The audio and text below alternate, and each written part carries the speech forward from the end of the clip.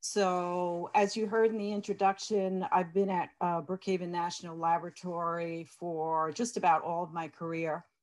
And one thing that I wanted to point out is that Brookhaven has a tuition refund program. I started at the lab with an associate's degree, got a bachelor's degree and a master's degree through their tuition refund program. Um, and happy to say that many opportunities were made available to me during my career there. So I started in the in procurement area, uh, got involved in the business end of things, and now um, I'm the project manager for the Electron Ion Collider. So uh, I, I, encourage people and, and uh, younger people that you know to look into opportunities at Brookhaven because it's a, because it's a really nice place to work. So we, Brookhaven is funded almost exclusively by the Department of Energy. And the mission of that department is to ensure America's security and prosperity by addressing energy and environmental and, and nuclear challenges. Uh, one leg of the Department of Energy is the Office of Science. And that's the office that funds uh, Brookhaven National Laboratory and other national laboratories around uh, the US. So there are 17 national laboratories throughout the United States, all uh, in different regions. Uh, we are sister laboratories, we work together. So um, one of the things that was mentioned in my bio and one of the things I regularly do is we support each other. This um, um, uh, sisterhood of laboratories. So when they have big projects going on, I take my expertise and I bring it to their lab. And we ask in individuals from their lab to come to visit us to help us with our projects. Uh, so it's a nice uh, domestic community. So Brookhaven was established in 1947. It's managed by Brookhaven Science Associates which is a partnership of Stony Brook University and Battelle. Um, we are closely associated with core universities in the Northeast, Harvard, Princeton, Yale, MIT, Columbia, and Cornell. Um, our annual budget is about 600 million. We have about 2,500 employees. Many of those um, scientific staff are joint appointments. We have over 500 students that do work at Brookhaven. We bring in about 30,000 students a year. They come through to visit um, our science museum and the different departments that we have. Uh, the actual site itself is over 5,000 acres with 316 billion uh, buildings. I encourage you, um, if you've never visited Brookhaven, the, we open up Brookhaven National Laboratory over the summer um, to bring people in to tour. This year we did it virtually, uh, but it's during the months of July and August. It's pretty fun if you have little kids too, kind of something fun to do on a Sunday. Um, one of the things that's special about Brookhaven National Laboratory as opposed to the uh, other 16 national labs is that we are very focused on users. And when I say users, I mean scientists, um, from universities and scientists from other laboratories, scientists from uh, around the world who come to use our facilities. Uh, so they will come for a few days or a month to do research um, at the large machines that we have to offer. And one of the advantages of a national laboratory is that they can build these large machines that a university would never have the funds to build or frankly the facilities um, in order to do it. So that is one thing that makes the National Lab special and one thing that makes Brookhaven very special in that we have a number of these large user facilities. Before I worked um, on the Electron Ion Collider, I uh, helped deliver the National Synchrotron Light Source 2, which you can see in this picture here. We have some students out in front of the building. Um, and that, that is also a user facility um, a slightly different kind than the one we're building now, but a facility where researchers and students and professors come to do research. This is what the site actually looks like. Um, down here in the lower right is the National Synchrotron Light Source, the project that I helped build. Uh, one of the fun things is when you fly out of Islip, um, the planes do a loop before they head west and they loop right over Brookhaven National Lab. And I always want to lean out the window, lean next to the person next to me and say, hey, I built that facility down there. So it's fun when you look at it from this perspective. Now, the big ring up at the top, that's the relativistic heavy ion collider. And that is the facility that we are going to upgrade for the electron ion collider. That's about two miles in circumference. And having that facility at Brookhaven helped Brookhaven win the siting decision for this project. Not all projects are like this, but this particular project, the electron ion collider, there was a competition that we had to engage in in order to get that project sited here at Brookhaven. And we found out uh, back in January that Brookhaven won um, and that this two billion about dollar facility would be built here on Long Island, opening jobs and keep, helping to keep people employed and construction workers um, uh, busy. So that was that was a really special a special day when they made that announcement. So what is an electron ion collider? Now, I'm not a scientist. Um, so I borrowed these this slide from some of my science friends. And what this machine does is it allows us to see inside the proton. And the idea is you collide um, ions together and they burst. And what happens inside of those is captured in pictures that a detector can see. So it allows you to see inside things that you would never ever be able to see otherwise. And depending on the type of facility that's built, you can look at things in different ways. Um, so this type of facility will be the first of its kind. Um, so it is sure to, you know, open up uh, interesting things that uh, people wouldn't know otherwise. And this is really pretty basic research. So it's not um, as easy as saying, you know, this will be the beginning of the next computer or the next greatest technology. You really don't know um, what the future holds when you start to look at things you've never looked at before. So it really is opening up, you know, brand new ways of looking at things. So it's it's exciting from that perspective, but the results are really, it's not tomorrow that we're going to know the impact of this. It, it will take longer. So it's not that we just thought about this in, you know, 2019 or 2020. The Department of Energy has been working on the research associated with this machine since back in 2002.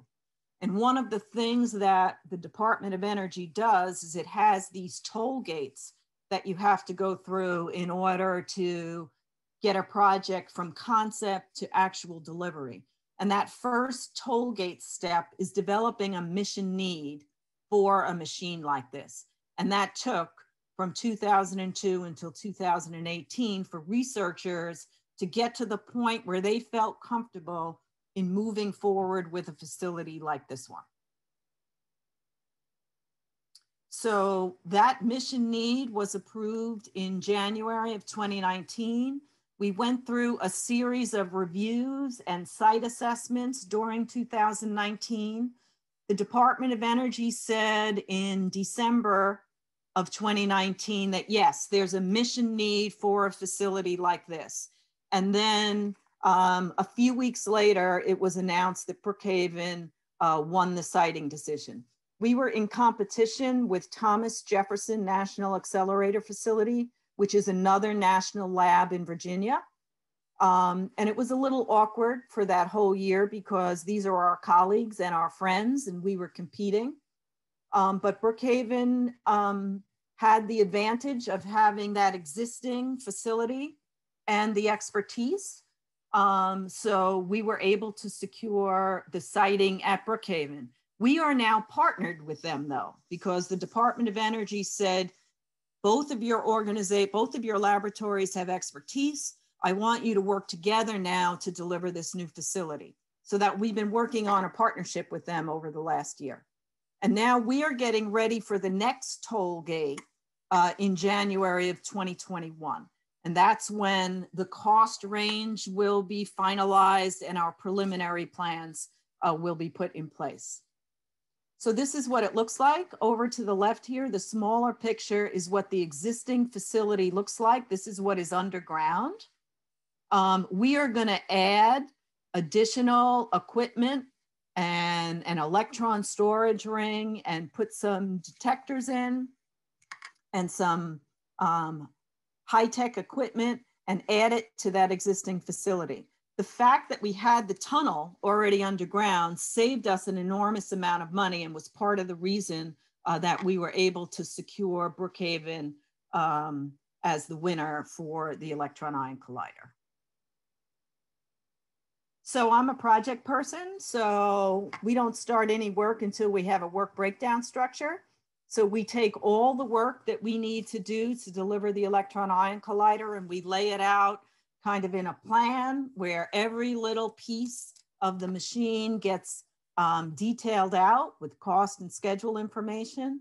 And we develop 10 high level areas that we need in order to deliver an electron ion collider we need a project management team. We have to do some development and R&D. And then we have various components of the machine, an injector, a storage ring. The place where the beams come together is called the interaction region. We have tons of support we need to provide for the team. We have to build infrastructure. We have to get ready to operate it.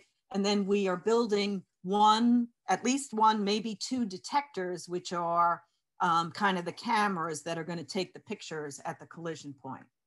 So this is what I use to manage the project. We also have been working with the Department of Energy to come up with a profile of what the cost might look like. And they agreed with us that a cost of about 2 billion uh, would be appropriate, but they gave us a cost range of 1.6 to 2.6 billion dollars. Um, so that's what we're working with in order to deliver this. Uh, we're here in 21. Um, we're slated to get a little under 50 million dollars this year, and we ramp up to about 300 million at the peak. So lots of money and lots of jobs and equipment for um, Brookhaven and the local area. That's our where our uh, reference profile sits. We're well within the range. The goal is we need to stay in this range. So we're in a good spot right now. Um, this is the team that I work with. We each have one of these levels of that work breakdown structure, and we are now developing our cost estimate. One of the really great things that um, happened in the process of getting ready for this project was that New York State agreed to contribute $100 million toward the electron ion collider. And they did that before the siting decision was made. And the reason was is that the Department of Energy looks very favorably on the fact that the state is willing to also contribute to this facility. So uh, uh, their support was very important in getting the siting decision to Brookhaven versus Virginia. So this is what we call our cartoon schedule. We actually have a schedule that is um, put in what Primavera, which is a scheduling tool, but this is what we use to talk about uh, what the timing is. And these critical decisions across the top, those are the toll gates that I talked about. So every time we get to one of these toll gate points, we have to prove that we are ready to move to the next phase.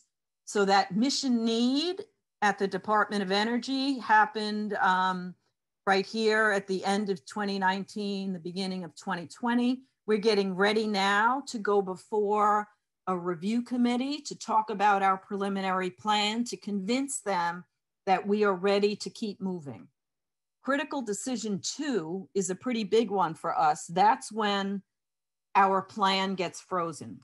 So we say we can build this machine for this amount of money on this time frame, and then we are held to that plan, and we are monitored then against that plan. And critical decision three is when we can actually start buying equipment and buildings. And then critical decision 4A and 4 are as we start to finish the project. 4A, we go to operations, and then in 4, the project is over. So this is what we use um, to track ourselves. Um, so we have a detailed schedule with like over 7,000 activities in it, and this is what we're using to put our plan together. Um, having the information in a tool like this allows us to do a lot of things and to do it quickly. So if the Department of Energy calls at noon and says, we need to know what the impact of this kind of a change would be, I have the tools to be able to respond and turn around answers to them quickly. And it allows us, starting at critical decision two, to be tracking how we're doing against that plan. So a very powerful tool uh, that we have. That tool also enables us to track the kinds of people we need to deliver this project and where we're going to get them from. Um, so this is an example of one of the departments at Brookhaven Lab, the Collider Accelerator Department that has a lot of staff that we're going to use on the Electron Ion Collider project. So that yellow horizontal line shows all the staff available in that department. And the red line are the staff that we need for the electron ion collider. And the other lines are all the other things those staff are doing. So when you put everything together, you see the spots where we need more staff than we have. And that, you know, helps our HR department determine when they need to hire people. It also tells us not only how many we need, but what kinds of staff we need. And when we put our estimate together, we asked our estimators to say, tell us what you need to do, tell us how long it's going to take, tell us how many people you need to do it, and what kind of people you need. So we can take our tools now and say, tell me how many mechanical techs we need during this year. Tell me how many designers we need coming up in FY21. So that kind of information is now available to us. And what we found was this big peak right here in 21. We need designers. So we now went out and put uh, on the BNL website advertisements for 20 designers. And we also need mechanical engineers, so we have advertisements out there for those. Um, so having, you know, the, these, these strong tools and people who know how to use them is really helping us to be able to manage a project of this size. This, these tools also enable us to run all kinds of graphs and um, show our information in all different ways. So th this is just an example of the kinds of things we can look at. We can look at how solid is our estimate? Is it made up of vendor quotes? Is it based on historical costs? Is it just somebody's judgment? Is there a design behind it? And then we can look at our split of labor and materials. We can look at it in total at the bottom right or over time. And we can look at, as I mentioned before, what kinds of staff do we need and when do we need them in order to deliver? So really cool things can come, come out of this once you have all the information in one, one place. You know, it used to be we would stand up and give a talk and we'd look and we go, oh my goodness, that slide doesn't match this slide. Why are the numbers different? Somebody didn't check you know, we need better quality check. Now everything comes out of one place. So the numbers are never wrong. Maybe we put the wrong numbers in, but they never don't match because they all come from one place. So there's one place where the truth is, which uh, comes in really handy when you're getting ready for some of these big important reviews. So next steps, we are, as I mentioned, we're getting ready for CD1. Um, and then we will need to work hard to get to CD2. And there's a big ramp up of staff needed. We're going to get up to about 350 or 400 staff. And right now we have about 50. So we have a long way to go in making sure we have enough, enough people to deliver. Many of the people already work at Brookhaven and will be reassigned. but many people we will get um, from outside of the laboratory. I wanted to talk a little bit about the things that Brookhaven is doing um, to kind of help support the electron ion collider. And one of those is something called Discovery Park. It's located right near the front gate of Brookhaven. And it is some federal property that is being opened up um, for public private partnership. And the idea would be that you would be able to get into Discovery Park without having to go through the gate to get into the laboratory because this is a DOE facility. So you need to have a badge to get in, or you need to have a guest appointment, or you need to get cleared ahead of time. This public private area would be open to everyone. Um, it's going to have um, places where we can have seminars without having to get people guest appointments in order to come to a seminar at Brookhaven. It's going to um, have places for economic development where um, industries that are interested in working with science can, you know, rent a spot or uh, put an office building in there. Um, it's going to have a daycare center out there. It's going to have restaurants out there. It's going to have a hotel out there. All things that will help um, to make Brookhaven more open um, to the outside. And as I mentioned, New York State has given their full support with that $100 million um, infrastructure commitment. But they've also committed to something that makes many people really happy, especially young people, and that is that they are going to move one of the train stations from the one in Yaphank to Brookhaven so that people could actually fly into JFK and get on a train. I guess that's the train, the plane to the train, that, you know, air, the air train. You get to the LIRR and you could get out to Brookhaven by train, which we've never been able to do before and we've had issues with people who don't drive coming from Europe or New York City. And now um, New York State has uh, gone through uh, the first steps in moving that, that rail station. So that's really, really exciting from a Brookhaven perspective. We even had some young people in the audience when they announced it, some employees.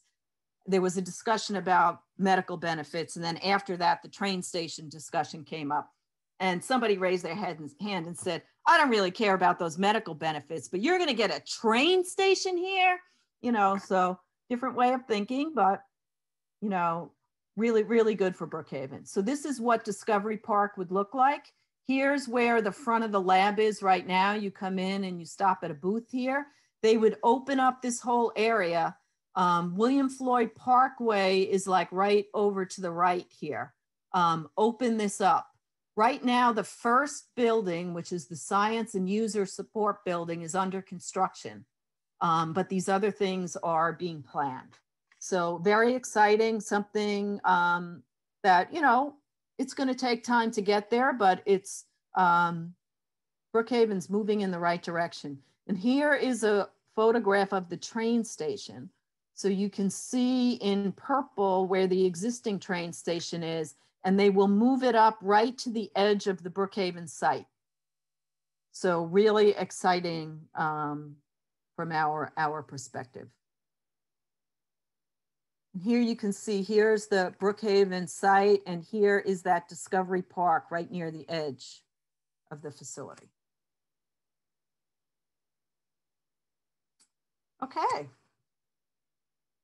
that's my story. So I will stop and be happy to answer questions. Wow, you really ended on a high note. That uh, Discovery Park Discovery sounds Park, yeah. amazing.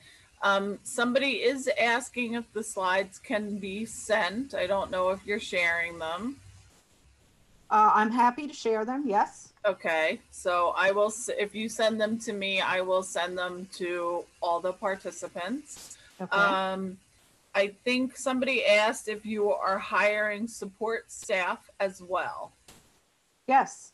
So um, we people should check the Brookhaven Lab career page. Um, right now, we have admin staff, designers, engineers. Um, I think that's everything that's up there now. But the, the next two years are like a big ramp up for us. So people should keep their eye out, you know, um, and um, especially if you have friends, relatives, colleagues, people you know who might be interested, we're happy um, to take that into account. We're trying we're trying to use this opportunity to move the diversity needle. We've had a lot. We have a, in general trouble in the science community in you know building up a diverse workforce. Right? Many scientists are males. Many of them are white males. Um, so we are trying really hard to make sure when we put jobs out that we are bringing in the most diverse group of applicants that we can so that um, you know we try to move that needle a little and using the opportunity of EIC to try to do that for the lab. Great. Uh, just to let anybody know, they can unmute themselves and ask Diane any questions, but I do see in the chat, um, Alina is asking if the lab collaborates with artists. I wish they did. Um, I have a personal interest in that myself. Um, not that I know of. Yes, I was noticing that that painting behind you. I like it. yes. I've always thought though that, you know, there's a lot of cool and interesting things um, that, you know, science generates these beautiful, like these detectors, right? Mm-hmm. Beautiful diagrams. And I asked my husband, the chemist, about this. I said, could I like paint that? You think that would be really cool? And he said, we're scientists. It has to be precise.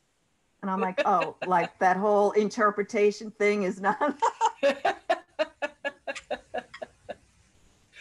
yeah, I think, you know, some of the things you see, even just looking for images to put with the marketing of this program, I thought some of the images were beautiful of the electrons and the the collider and the images that the the lab was using on their page. So I think there can be a, a really beautiful uh, combination of science and art. So maybe Alina, you've got to put something together and pitch it yeah. to the lab and get something going. I have actually seen other labs that I visited have had like, you know, contests or, you know, artists come in and make their own, you know, interpretation of what they see and it's all in the lobby. It's beautiful. Yeah. So maybe I need to work on that with my colleagues. In your free time, right? Yeah. um, so does anybody else have any other questions? I have a question. Um, Great. Hi, Diane. I'm Tina Fiorentino with Junior Achievement. Um, it seems this is an amazing project that will provide so much opportunity for jobs in the future for our young folks and who think maybe there's not too many opportunities to stay here on Long Island with jobs. So this is so exciting. Um, so my question to you is, do you do anything to bring students and bring awareness to our students, especially in the high school age where they're starting to think about what could their majors be in college? What are the jobs of the future?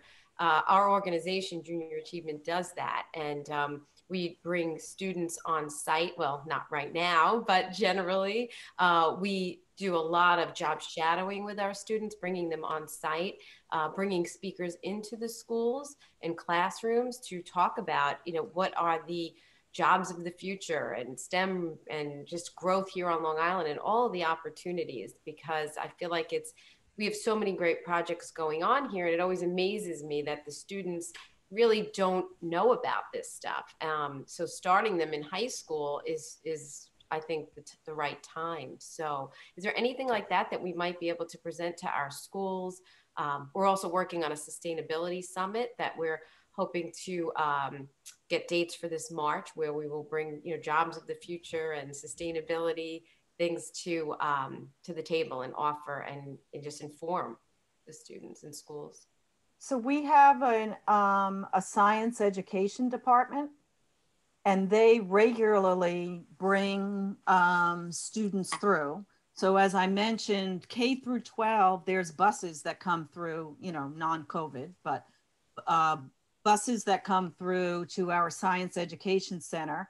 There are high school programs, high school student programs over the summer, college student programs. So I can put you in touch with the director of that and maybe you should have a conversation with him because his name is Ken White, and I oh. think um, that would be, you know, a good link up. That would be great. We would really appreciate that. And I'm okay, sure good. we have so many schools that would be interested in participating. So that would be a great partnership. Uh, should I get you my information in the in the chat or does Yeah, that's fine. Okay. Thank I'd you. Like to, I'd like to, if I, if I could, I'd like to uh, make a comment as well. Um, staying along the lines of what Tina just uh, was speaking about, um, Tina is a, a participant um, with our Smithtown Industry Advisory Board. And uh, so we've spoken and have seen each other a number of times. And question was very similar to mine, except I want to add something. So Diane, um, due to the uh, pandemic and the fact that nobody's doing much in person um, anymore. One of the things that um, uh, the Smithtown Industry Advisory Board has um, attempted to do is have um, local businesses do um, some sort of video um, uh, that we can then share in the classrooms, whether they be in person or online, uh, with the students. Is there some videos? Uh, that um, you know could speak like i mean what you just did now is interesting. However i you know great for us adults. I think you know the kids would fall asleep but if you had um, a you know more interactive i mean some sort of video shows what the uh, you know the collider does that sort of thing that can be shown in classrooms to kind of pique their interest so that when we do open that could be something to be like hey listen i was really interested. Maybe we can you know do a trip there or do a special you know um, summer program with them. Yeah so the lab has general videos but i am sure that our education department has things that would be appropriate um, so if you put your contact info in for me also i'll make sure that the both of you get contacted uh, with ken white Terrific. Thank you. I really appreciate that. Okay, good. Um, this is Chris Kempner. I'm uh, very interested. I, I know Ken as well, but I'm also very interested in the education component. Um, we're, working with the Long Island Science Center and some of the local schools to develop more functional curriculum right now for um, for for the school system because of the pandemic and possibly the economic uh, repercussion, repercussions. So many children may have to take on jobs at a much earlier age than they normally would. So we were looking at two tracks, one being sort of more scientific and coding, and and the fact that the lab is here and we'll have this facility is really amazing. So if there's a way to sort of connect this group, uh, uh, it's wonderful. And I'd like to thank you very much um, to to to uh, Brookhaven Lab and the Miller Science Center for, for having this presentation because it's extremely interesting um, in all aspects of it. And I would love if there continues to be these types of presentations as you move along so we can pace with you to, to hear about it. In fact, I just, you know, called a friend of mine that's a mega project scheduler and I was like, there are a lot of jobs that are, are being um, generated and I'm very just interested in the scientific community that you're bringing here. So thank you very much for the presentation, Ms. Hatton. Good.